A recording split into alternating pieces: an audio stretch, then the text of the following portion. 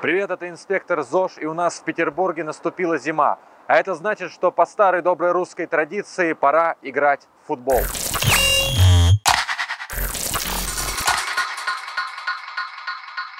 Мы на Петроградской стороне, и в этом доме с 1910 по 1934 год жил и работал Георгий Александрович Дюперон, основатель и популяризатор футбола в Российской империи.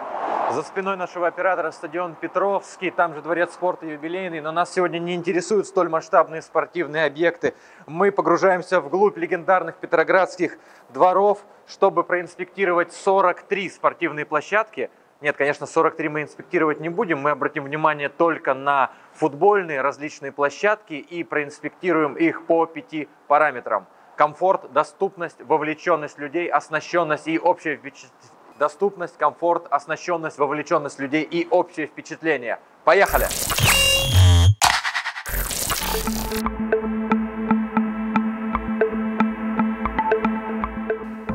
Видите за моей спиной ворота?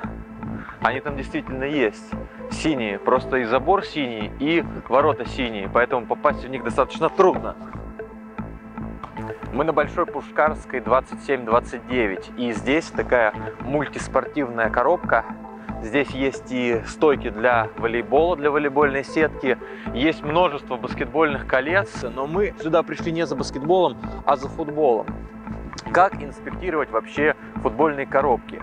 Для меня это такая же загадка, как и для вас, но все-таки попробуем. Во-первых, покрытие. И здесь передаем привет всем дворникам Петроградского района и вообще Петербурга и муниципалитетам. Поскольку в Питере наступила зима, пора убираться на спортивных площадках.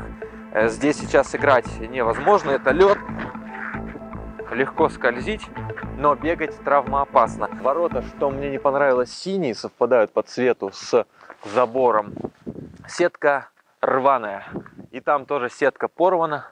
Защитный забор достаточно высокий, и сверху еще есть дополнительная сетка под углом в 45 градусов. Очевидно, это дополнительная защита. Но не знаю, можно ли перепнуть. С учетом того, что площадка достаточно небольшого размера, перепнуть ее с учетом того, что площадка достаточно небольшого размера, перепнуть мяч достаточно трудно. Я думаю, что эта площадка годится, конечно, для футбола. Давайте, что здесь нужно сделать? Большая Пушкарская 27-29. Убрать снег, лед и вообще следить за состоянием покрытия зимой. Заменить сетки, ну потому что это как-то не годится. Это только либо для рыбы, либо для того, чтобы вратарь тут повис. А, Все остальное в хорошем состоянии. Едем дальше.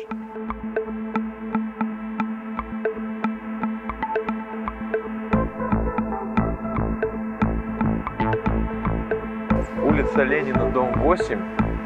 Здесь на вид очень симпатичное футбольное поле, но есть ощущение, что оно недоступно для обычных людей, а только для тех, кто занимается в Петроградском спортивном клубе. Но сейчас мы это проверим. проверили. Проверили замок. Пройти туда мы не можем. Давайте попробуем зайти с другой стороны. И пока посмотрим, что это за площадка вообще такая. Написано Малопушкарский кубок чемпионов. Искусственная трава. Поле мини-футбольное, но расширенное. Ворота в хорошем состоянии, высокий забор, защитные сетки. Все в порядке. И даже интересно очень разрисован брендмауэр на этом здании. Выглядит все это симпатично и атмосферно. Но можно ли здесь играть в футбол? Значит, там с той стороны входа нет. Значит, все понятно. Здесь входа нет. На противоположной стороне замок, и нам туда бесплатно не попасть. Через эту дырку разве что пролезет небольшое животное, вроде мыши. Ну что, остается только перелезать. Но мы перелезать не будем, поэтому отправимся на следующую спортивную площадку.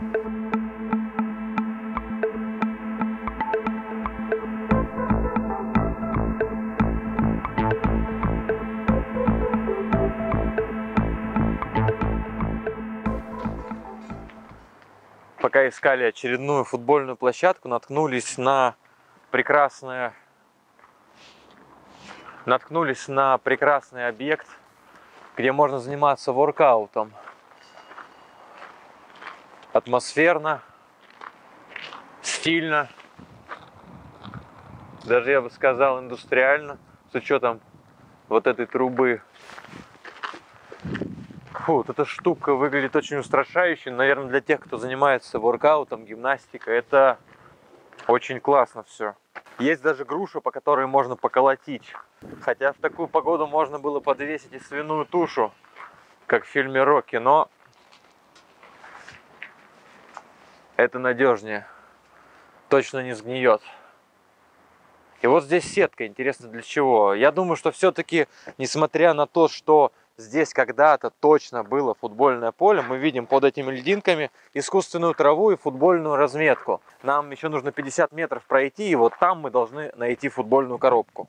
Мы прошли 50 метров в ту сторону, но никакой футбольной площадки там не оказалось. Оказывается, речь шла именно об этой футбольной коробке. Гатчинская улица, дом 22, сайт спорткомитета, пожалуйста, обновите информацию. Здесь больше не футбольная площадка, здесь площадка для воркаута.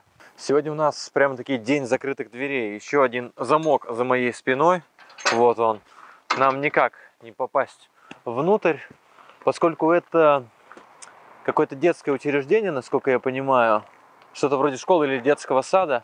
То ли школа, то ли детский сад. Съезженская улица 33. Посмотрите, какая здесь шикарная площадка. То есть, посмотрите, какая здесь любопытная площадка. Это как раз конструкция, мы уже снимали в одном из прошлых выпусков э, площадки, сделанные по датским технологиям. Вот это как раз одна из них. Это у них такие футбольные ворота любопытные, сразу же баскетбольное кольцо. И сейчас мы увидим еще одну спортивную площадку, которая находится здесь же, на Съезженской 33, и на нее тоже невозможно попасть.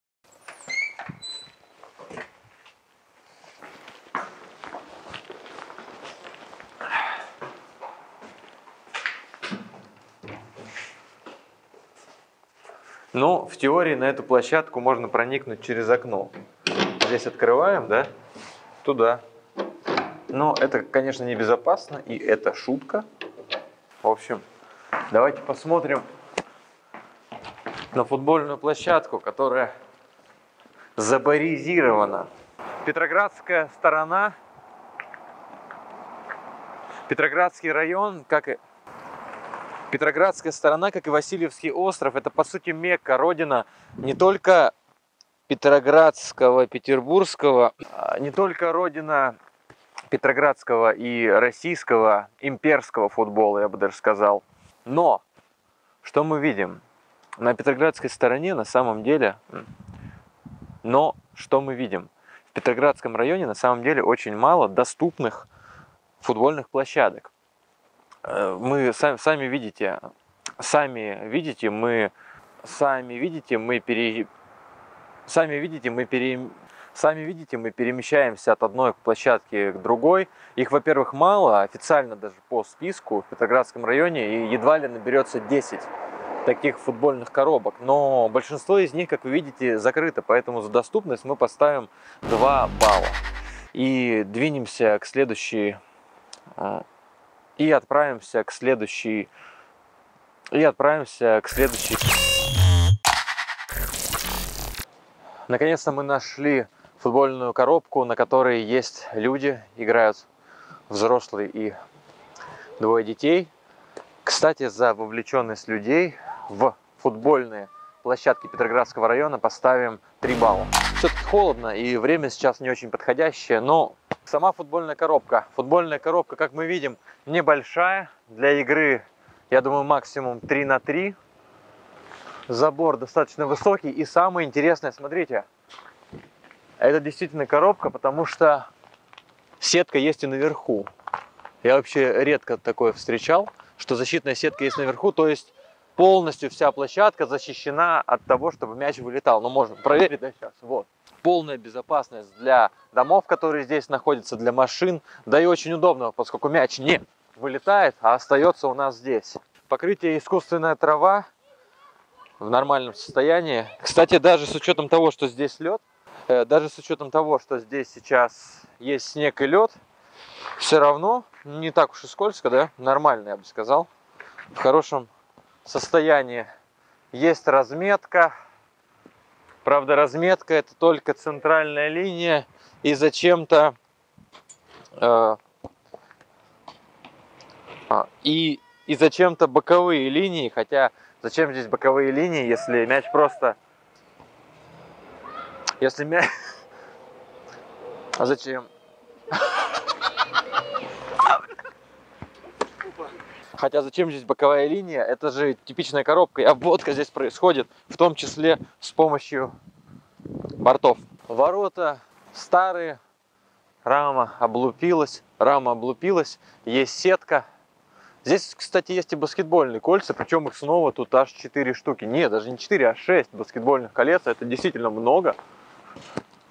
И они, и они в вполне нормальном состоянии. Футбол здесь играть можно, небольшому количеству людей, правда, но эта площадка действительно доступна. А нам пора выставить оценку за комфорт. Какой комфорт может быть на улице в конце октября. Но вот здесь именно видно, что дворник поработал, поскольку по бокам, смотрите, снег. Это значит, что этот весь снег лежал на поле, Снег этот убрали, теперь здесь можно играть, все безопасно и хорошо. Вот так бы везде. В целом за комфорт выставим 4 балла, я не знаю, просто реально на улице практически зимой рассуждать о комфорте это просто глупо. Мы во дворе редакции «Спорт день за днем», и здесь, оказывается, тоже есть вот такая вот спортивная коробка. Правда, она не футбольная, а баскетбольная, но, как мы видим, это не мешает людям играть здесь в футбол. Мы еще не поговорили о оснащенности коробок, на которых мы побывали. Ну, в принципе, везде играть можно, везде есть нормальное покрытие. Это либо утрамбованная резиновая крошка, либо искусственная трава. Опять же, ворота. Не везде есть сетка, э, везде есть ворота.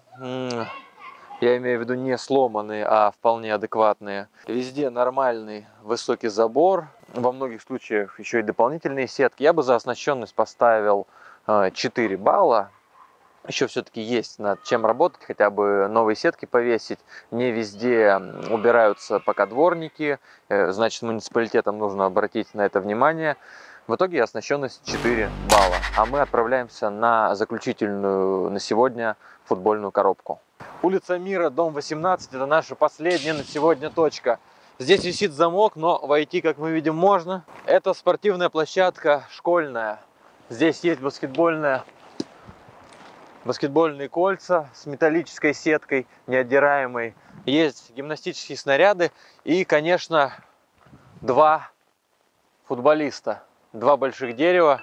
Как и в случае с баскетбольными площадками, последняя коробка казалась наиболее атмосферной, что ли. Ну, здесь сразу ощущаешь, что попал на Петроградку. Во-первых, вот этот бренд Мауэр, деревья, растущие из асфальта, любопытный забор, ведущий в никуда. Покрытие резиновая крошка. Ну вообще, поскольку это школа, здесь уж могли бы точно убрать вот этот снег и оледенение. Школа-то работает, прямо сейчас там учатся дети. Если они, конечно, еще самое опасное, что здесь есть, очень любопытно, что здесь сразу ворота для футбола и для регби. То есть это футбольные ворота, а деревья... То есть когда мы попадаем вот так вот мячом, это регби. Ну и максимальное количество очков засчитывается, когда мы запинываем мяч вот на ту закрытую территорию. Не знаю, случается это часто или нет, но это, наверное, главная опасность этой площадки. А также, если мяч вылетит туда и попадет в одну из припаркованных дорогих машин. Ворота в хорошем состоянии, мини-футбольные ворота, и те, и другие, сетка, рама, все в порядке, можно гол забить. Холодно сегодня, пора завершать этот выпуск. Общее впечатление среднее, потому что, с одной стороны, площадки есть, некоторые из них доступны, некоторые нет, и в этом большой минус есть над чем работать на каждой площадке. Ну что вы хотите, если на школьной площадке снег и практически лед, гололед, это небезопасно, это нужно, над этим нужно работать. Но вообще в футбол играть можно, и несмотря на Петроградский камень, и несмотря на то, что Петроградка это такой классический пример э, каменных джунглей, здесь действительно можно играть в футбол, заниматься спортом. Общее впечатление 4 балла и итоговая оценка 17 из 25. Давайте играть в футбол, наступила зима. Всем пока!